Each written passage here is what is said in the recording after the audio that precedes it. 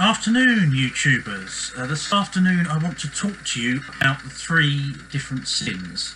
So, when people talk about, as a Christian, having victory over sin, they're not talking about having complete victory over sin.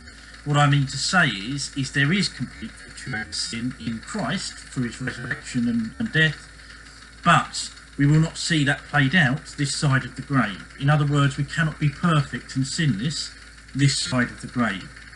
So, what do I mean by the fact that there's three different uh, separate types of sin? Well, firstly, there's what the Bible calls transgressions.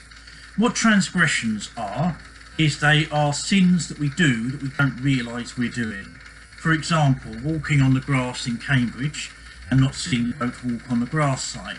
We accidentally sin. Now we do this all the time. There's things the Holy Spirit might tell us to do, and we, we don't do them because we're busy not listening. Uh, there's people we might need to comfort and we don't. All these are not, there's nothing deliberate about these sins.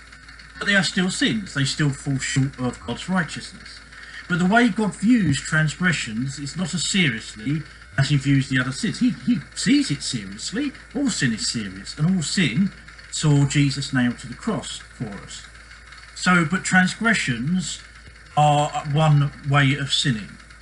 Now, those sins will not disappear this side of the grave. We will not stop transgressing this side of the grave because it's impossible to do so. There's always in life landmines on which you'll step on, things that with your which you'll say that you didn't realise you shouldn't have said.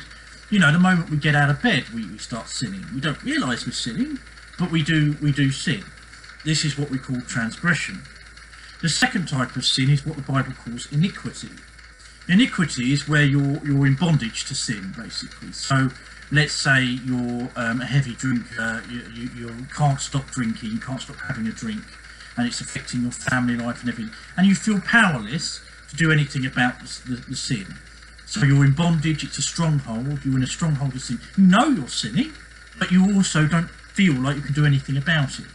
This is what we call iniquity, sin we do over and over and over and over again because we don't have the victory in that, that area.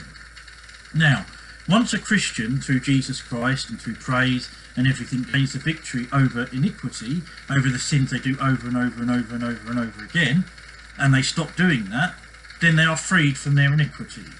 Now, iniquities are very serious because um, they lead us to be uh, distant from God, away from God's lordship and and um, relationship.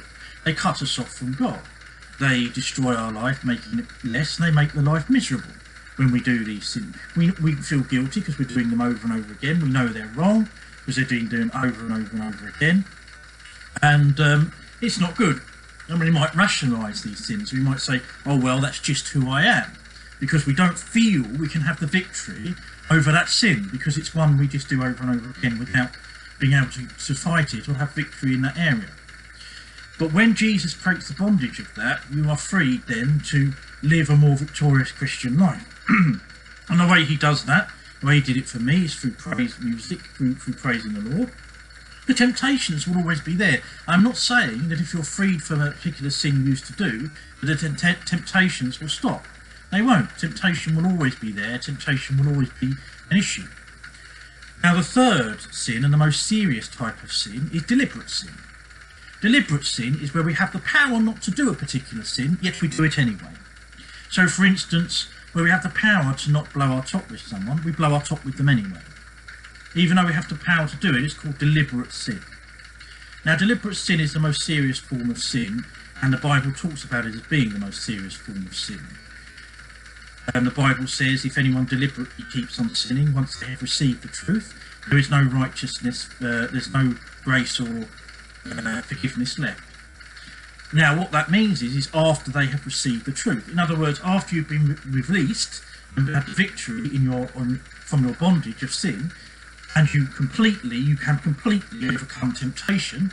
It might still be hard, there's still a struggle, but you can overcome it, and you deliberately walk back to that sin the Bible calls it like a dog returning to their vomit. It's, it's a serious sin. So, these are the three different types of sin. So, when we talk about Christians having victory over sin, we not necessarily mean that they're going to be living perfectly and not sinning at all.